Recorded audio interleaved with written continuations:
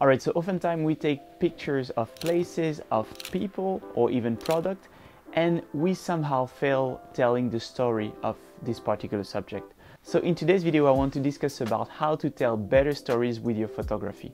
And if you're new to this channel, I release every week Fujifilm photography and videography related content. So if you want to see more of that, make sure to subscribe to the channel. Alright, so before we can pretend to tell a story, we need to understand what is a story. So this is quite obvious and a simplified concept, but a story is basically a subject within a context who is trying to achieve some actions. So this simplified concept is really important because it gives us the key elements that need to be present in our pictures to be able to tell the story. Having a clear subject a context and an action within our photography will make for the key elements to establish our story. And of course, I'm not saying that you cannot tell a story if all those elements are not present. For example, you can take a story with just a portrait of a subject within the context without action, or even a landscape photography can tell a whole story. But I'm just saying that you should focus on those elements because they are the key elements that establish a story. So oftentimes, as soon as we see something, a subject, a product or a person, we want to photograph them, right? But it's really important to take the time to understand exactly what that particular subject is about before even turning the camera on. So make sure that you take the time to talk to that person that you're gonna photograph or maybe also scout the location that you're trying to shoot because this can go a long way into establishing the correct story and finding the right elements to include within your composition to tell the right story. Alright, so sometimes it can be really difficult to include context, a subject, and action with one single shot. So my next point would be not to limit yourself to one single shot. I think it's okay to have several shots working with each other and complementing each other instead of having one okay shot where you try to scramble everything in. And of course, I'm not telling you to take 10 times the same shot. What I'm trying to say is that you should be able to take different shots that focus on different aspects of your story to give a global picture to your viewer.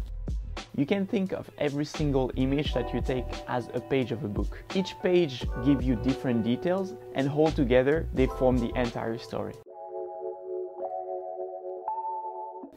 So in the same way that you use language to tell a story or to describe your opinion or emotion, whenever you want to tell a story through photography, you need visual language. So what do I mean by visual language?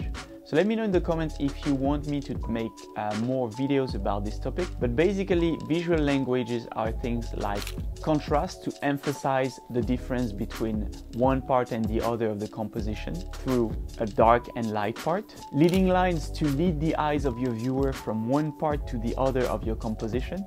Hierarchy to emphasize one part of your composition compared to the other based on, for example, its size, or its placement in your composition and also scale where you will emphasize on the difference of size or height of one element of your composition compared to the other. So there are many more nuances of visual language and like any other language it takes time to master it.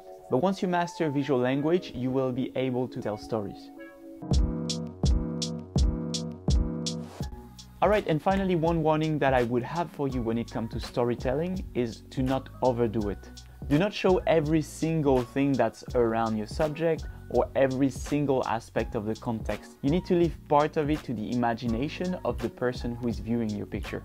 By leaving some part of it to their imagination, you basically allow them to have an interpretation of your work and that interpretation is basically what becomes unique about your work and create this relation between your work and that person. If you give them every single detail, every single angle of your subject, you will basically drown them into too much information and you might just lose them in the process. So give to your viewer enough information for them to understand the story, but leave some of it to their imagination. Alright, so I hope that you enjoyed today's video and if you did, make sure to leave a like and subscribe to the channel. And if you want to know more about what gear I use to tell the stories that I want to tell through photography, make sure to check this video right here where I describe the gear that I use in 2022. See you there!